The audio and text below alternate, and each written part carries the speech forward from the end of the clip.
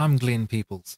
Well, the Apologetics Canada conference has just now wrapped up in Abbotsford, British Columbia. I have to say, I wish that I could have been there, and I'm somewhat envious of my fellow contributor to Rethinking Hell, Chris Date, who was there. Now, in the Q&A session following his keynote address on the first evening of the conference, one of the speakers, William Lane Craig, a Christian thinker I can't help but have a huge amount of admiration for, like many people do, made some comments on hell that deserve to be highlighted just because they really exemplify the way that even very sharp minded evangelicals can go wrong on this subject.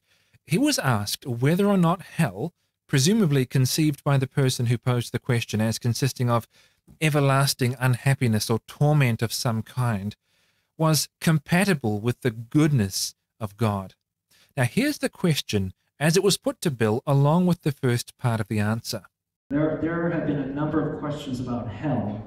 So, could you um, explain to us what hell is and whether a good God is compatible with the hell? I don't think that hell is what is depicted in medieval paintings of torture racks and pincers and red hot irons and things of that sort. It seems to me that the essence of hell is what Paul describes in 1 Thessalonians 1:5, where he says, They shall suffer the punishment of exclusion from the presence of the Lord and from the glory of his might. And I think that is the anguish of hell, this separation from God, from all that is good and beautiful and, and lovely, uh, to be left with one's own crabbed and selfish heart forever. Um, and I think that is the essence of what hell is. It has become common for evangelicals who believe what they see as the traditional Christian view of hell to increasingly shy away from visions of a horrendous torture chamber in the bowels of the earth, which is good because that portrait of divine justice is patently unbiblical. But they really haven't let go of what was wrong with that vision, namely an eternal life of misery rather than a more biblical picture of final death or destruction. What they now stress is that hell is an endless life of conscious misery separated from God. So strongly do some evangelicals think that this is actually a biblical view that, and I'm sure without intending to, when they think they are recalling passages of Scripture that speak about this subject, what they're actually recalling is simply their own understanding of the doctrine of hell, and not a passage of Scripture at all. In fact, St. Paul never said that anyone would suffer the punishment of everlasting exclusion or exclusion from the presence of the Lord.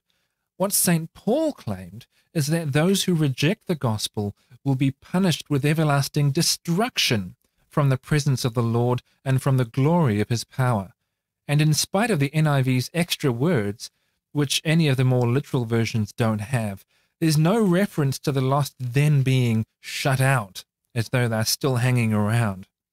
As the ESV translators point out in the footnotes, there are two things that this could mean. Maybe it means that people will be destroyed from the Lord's presence in the way that we might talk about a ship in battle being blown from the water.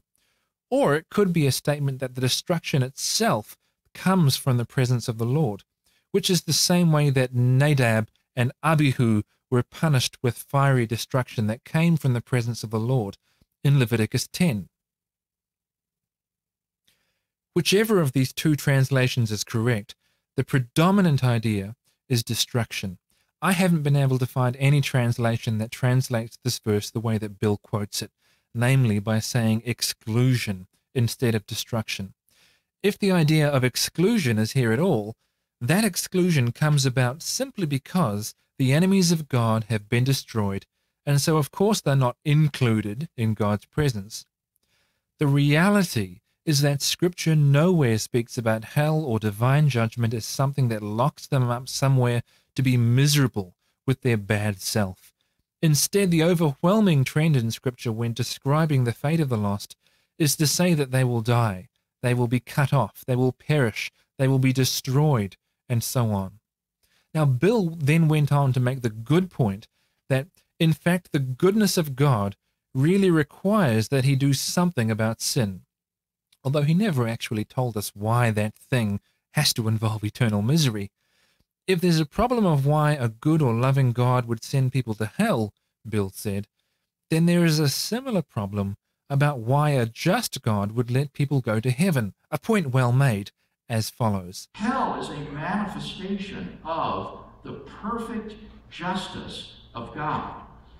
Um, and when you think about that, it is just as difficult a question as how could a loving God send people to hell to ask, how could an all just God send people to heaven? As a purely intellectual question, that is every bit as difficult. How could a God, a God who is perfect justice send anybody to heaven? And yet people never worry about that, do they? They never ask about that question. Good point. So, what is the answer to this problem of heaven? If justice requires that God respond appropriately to sin, how could it be that he lets anyone into heaven? Or to use biblical language, why would he grant anyone eternal life? Here, too, I think Bill is right on the money. The answer is Jesus and the saving work that he did by way of the cross. Listen to how he puts it. And I think the answer is Jesus. At the cross of Christ, the, the, the justice and the love of God meet. They meet at the cross. At the cross, we see God's justice as his wrath is poured out upon sin, and Christ bears the penalty for sin that we deserve.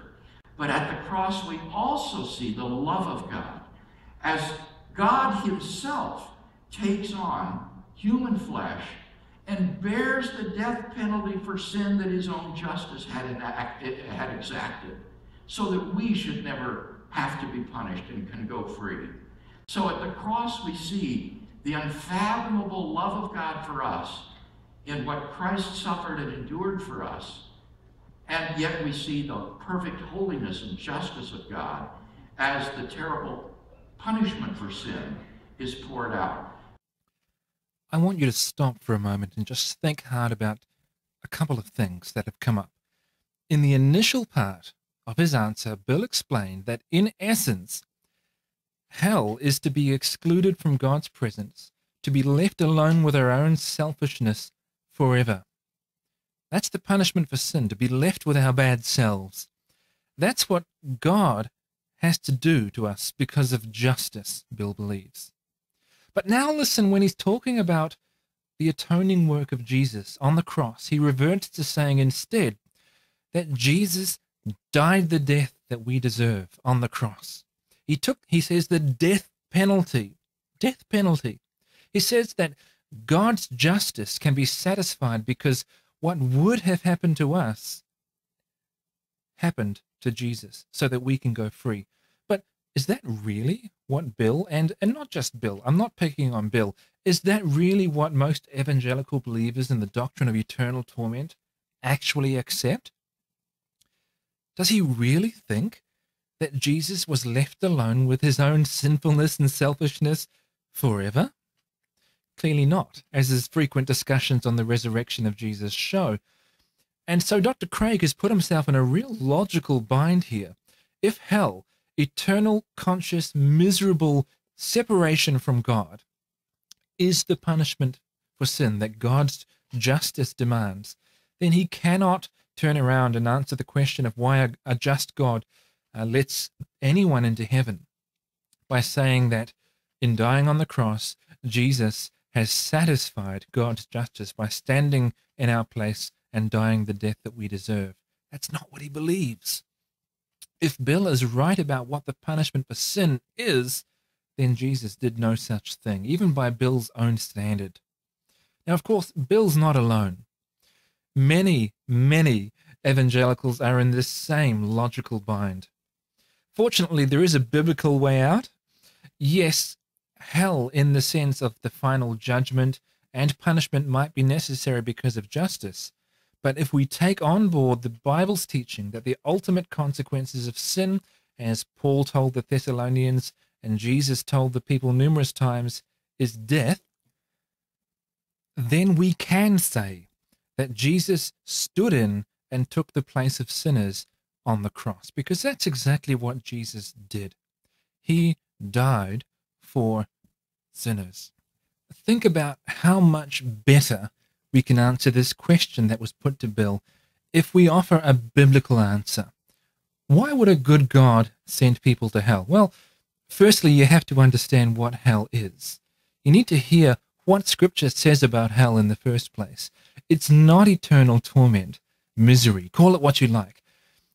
Hell is the consequence of rejecting God, who is the source of our life and our very being.